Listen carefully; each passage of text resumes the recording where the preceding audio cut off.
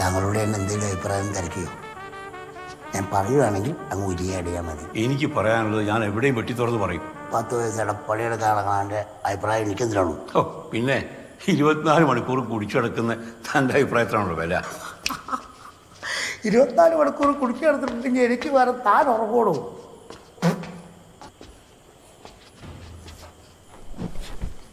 ഒരു കാവ്യ ഭംഗിക്ക് വേണ്ടി പറഞ്ഞതാ. അത് മനസ്സിലാക്കണ്ടേ? അതിന് ബോധം വേണ്ടേ? ബോധം. മഴക്കാലത്ത് കാൽവരിപ്പൂക്കൾ പൂത്തു എന്ന് പറഞ്ഞ തന്റെ ബോധത്തെക്കാൾ കൂടുതലുണ്ടോ? പതിനൊന്ന് പങ്കെടുക്കുക എന്റെ ബോധം. അല്ലാതെ എന്താ മഞ്ഞക്കാൽവരിപ്പൂക്കൾ?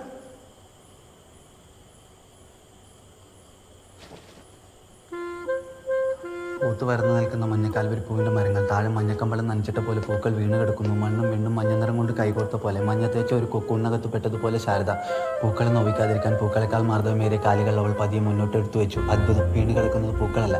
മറിച്ച് കെട്ടിനിന്ന മഴവെള്ളത്തിൽ കാൽവരി പൂവിന്റെ പ്രതിബിംബമായിരുന്നു. മഞ്ഞ പരവതാനിൽ ഓളം സൃഷ്ടിച്ചുകൊണ്ട് ശാരദ നടന്നു.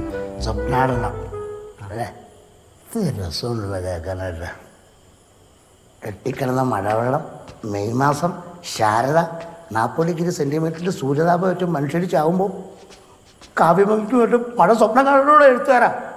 സാറേ ഒരു കലാകാരൻ ഇങ്ങനെ നിന്നിക്കരുത്